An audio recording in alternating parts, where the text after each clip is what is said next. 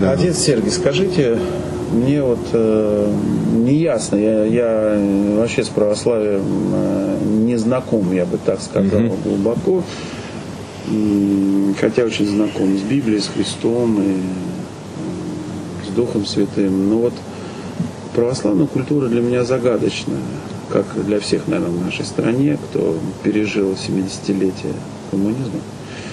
Скажите, пожалуйста, вот, вот это почитание мощей, Сначала это вроде ужасает, потом, когда объясняют, вроде все становится как-то ясно.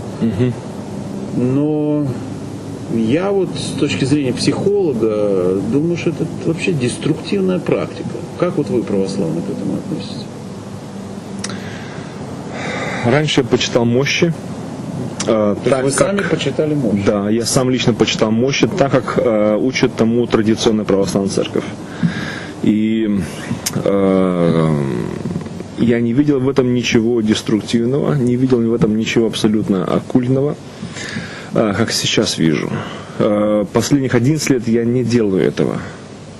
Э, Я не э, почитаю мощи так, как э, почитает их традиционная православная церковь. В этом плане я, можно сказать, протестант. Потому что я даже не только я это не делаю, я протестую против этих форм значит, почитания останков человеческих. И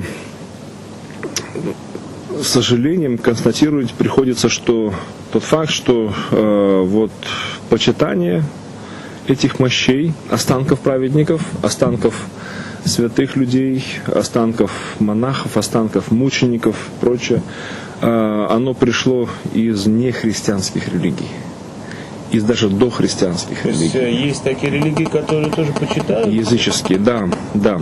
И это, к сожалению, влияние язычества, оно э, было ощутимо с 4 столетия начиная. Даже православный профессор Проснов, э, тогда профессор кафедры истории при Киевской духовной академии, это было в 20-е годы, э, проповедуя на эту тему и уча об истории церкви, он как раз говорил, что, что церковь в IV столетии была, ну как, соблазнилась, прельстилась языческим, э, языческой традицией.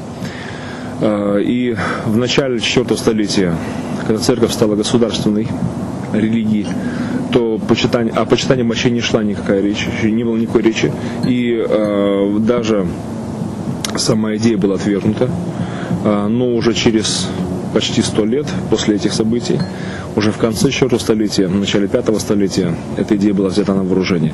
Вообще, э, почитание останков человеческих, э, оно есть в разных религиях, разных э, традициях.